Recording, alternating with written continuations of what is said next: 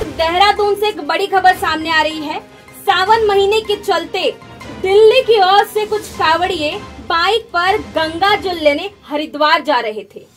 जैसे ही वो बाईपास के पास पहुँचे तो एक डंपर ने एक बाइक पर सवार दो कावड़ियों को टक्कर मार दी, जिससे कि बाइक पर सवार दोनों कावड़ियों की मौके पर ही मौत हो गई। जी हाँ दोनों कावड़ियों की जो हरिद्वार जा रहे थे गंगा जल लेने, उनकी मौके पर ही मौत हो गई और एक कावड़िया गंभीर रूप से घायल हो गया है।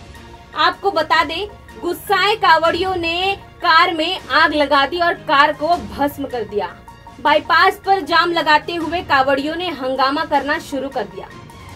इसकी खबर मृतकों के परिजनों को सूचित किया गया और सूचना पर पहुँची पुलिस और फायर ब्रिगेड की टीम ने आग को बुझाया। इस मामले की पूरी छानबीन पुलिस कर रही है।